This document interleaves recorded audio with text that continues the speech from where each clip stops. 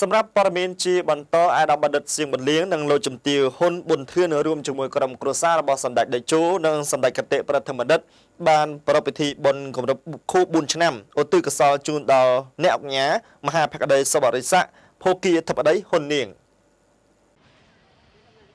អាដាមបណ្ឌិតសៀងប៊ុនលៀងអនុរដ្ឋលេខាធិការក្រសួងមក្តីនិងជាទីប្រឹក្សាផ្ទាល់សម្ដេចតេជោនាយករដ្ឋមន្ត្រីនៃព្រះរាជាណាចក្រកម្ពុជានិងលោកជំទាវទីប្រឹក្សាអមក្រសួងការបរទេសនិងសហប្រតិការអន្តរជាតិនិងជាអនុប្រធានយុគឋានហិរញ្ញវត្ថុនិងគណៈនៃក្រៅប្រទេសនៅថ្ងៃទី12ខែកក្កដាឆ្នាំ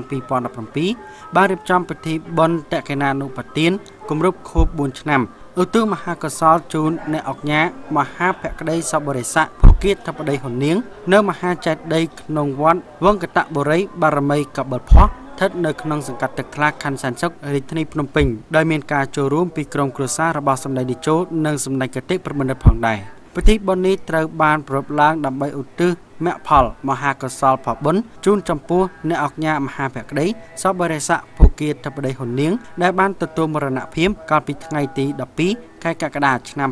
2013ក្នុងប្រជជន90វស្សាដោយជរាពៀននិងឧទ្ទិសមហាកុសលជូនលោកយាយមហាបាសិកាឌីប៉ុងដែលត្រូវជាបិតាមេដារបស់សម្ដេចមហាសេនាបតីតេជោហ៊ុនសែននាយករដ្ឋមន្ត្រីនៃព្រះរាជាណាចក្រកម្ពុជាគោលរំលឹកថា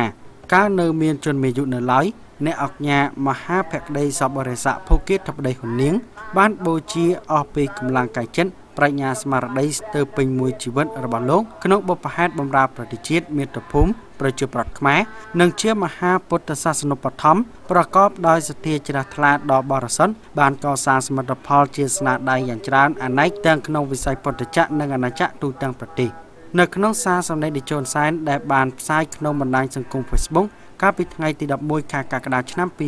2017សម្ដេចបានបរិនិត្យថាអ្នកអុកញ៉ាមហាភក្តីសពរិស័កភុគិតបដីហ៊ុននាង ជាមនុស្សប្រុសតែម្នាក់គត់ដែលបានផ្ដល់អាវ៉ាតដល់សម្ដេចតាំងពីនៅក្មេងខ្ចីរហូតដល់ដង្ហើមចុងក្រោយរបស់អ្នកអុកញ៉ាបើទោះបីសម្ដេចមានឋានៈខ្ពង់ខ្ពស់គ្រប់គ្រងអំណាចរដ្ឋក៏នៅតែជាកូនរបស់លោកដដែលមិនអាចផ្លាស់ប្ដូរឋានៈបានឡើយ សំណេររបស់សម្ដេចតេជោបានបន្តថាសម្ដេចបានធ្វើឲ្យឪពុកម្ដាយហូរទឹកភ្នែកច្រើនជាងគេ គឺនៅគ្រាដែលសម្ដេចលាអ្នកមានគុណតាំងពីអាយុ13ឆ្នាំមកបន្តការសិក្សានៅរាជធានីភ្នំពេញហើយការងារធ្ងន់ធ្ងរក្នុងឋានៈជាកូនសិស្សលោក នៅវត្តនេកវ័ននិងលោកឪពុកបានយំនៅពេលសម្ដេចថ្វាយបង្គំលា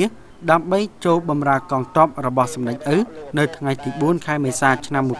1970ដើម្បីតស៊ូប្រឆាំងនឹងរបបចក្រពត្តិអាមេរិកក្នុងនោះចន្លោះពីឆ្នាំ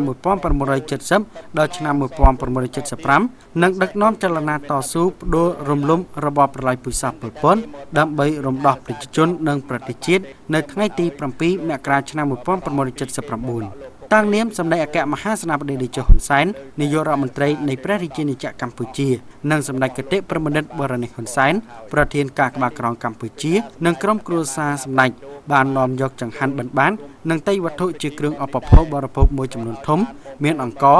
មីស្ករសទឹកដោះគោទឹកក្រូចទឹកសុទ្ធផ្លែឈើ ទឹកផ្លែឈើកំប៉ុងឡាក់ព្រមទាំងពំនាំបច្ច័យទាំងប្រាក់រៀលនិងប្រាក់ដុល្លារសរុបចំនួន29លានរៀលប្រគេនព្រះភិក្ខុសង្ឃជាចតុបច្ច័យនិងកសាងបង្គន់អនាម័យនៅក្នុងវត្តមង្គតបរិយបារមីកបុលផោះតាមសំណើបិណ្ឌបាតរបស់ព្រះចៅអធិការវត្តទៀតផង។អាដាមសៀងប៊ុនលៀងបានឧទ្ទិសបួងសួងដល់គុណបុណ្យព្រះរតនត្រ័យកៅទាំង3វត្ថុស័ក្តិសិទ្ធិក្នុងលោកទេវតាថែរក្សាព្រះរាជាណាចក្រកម្ពុជា សូមប្រោះព្រំព្រះសពសាទកាពរ ដល់បរមវិញ្ញាណក្ខន្ធអ្នកអុកញ៉ាមហាភក្តីសពបរិស័កភូគីតបដេហ៊ុននាងនិងលោកយាយមហាបាសិកាឌីប៉ុងសូមលោកមានគុណទាំងទ្វេបានចាប់ពលដល់ឋានសុគតិភពជាទីបរមសុខកុំបីគ្លៀងគ្លេឡើយព្រមទាំងបានឧទ្ទិសបួងសួងជូនមគ្គផលកុសលផលបុណ្យ ជូនសម្ដេចនាយកនាយករដ្ឋមន្ត្រីនៃព្រះរាជាណាចក្រកម្ពុជា និងសម្ដេចកតេប្រមនិនសូមមានសុខភាពល្អសិរីសួស្តីជ័យមង្គលវិបុលសុខបវរមហាប្រសាគ្រប់ប្រការដើម្បីបន្តដឹកនាំប្រទេសជាតិមាតុភូមិកម្ពុជា ក្នុងសន្តិភាពស្ថិរភាពនិងការអភិវឌ្ឍប្រកបដោយចីរភាពជានិរន្តរ៍ អាដាមបណ្ឌិតសៀងបន្លៀងនិងលោកជំទាវហ៊ុនប៊ុនធឿនព្រមទាំងក្រុមគ្រួសារសម្ដេចនាយកបាននាំយកអំណោយជាថវិកាសរុបចំនួន5សែនរៀលចែកជូនប្រជាប្រដ្ឋកុមារាកុមារីខ្សត់ខ្សោយជនពិការនិងកងកម្លាំងនគរបាលកងរាជបន្ហាន់ការពារនៅបរិវេណវត្តមង្គតបុរីបារមីកបិលផោះសរុបជិត100នាក់ផងដែរ